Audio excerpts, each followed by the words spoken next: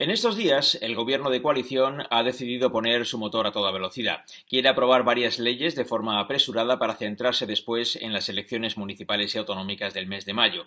Entre esas iniciativas legislativas está la de eliminar el delito de sedición. Pedro Sánchez esquivó durante un tiempo la presión de sus socios independentistas cuando le exigían que lo derogara.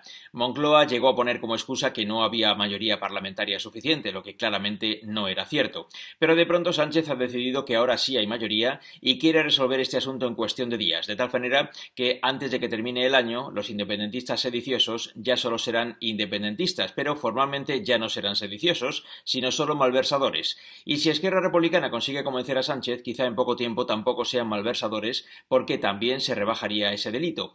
Como primera consecuencia, los organizadores del proceso independentista tendrían limpio su expediente judicial, y como segunda consecuencia, poner en marcha otro proceso independentista será bastante barato.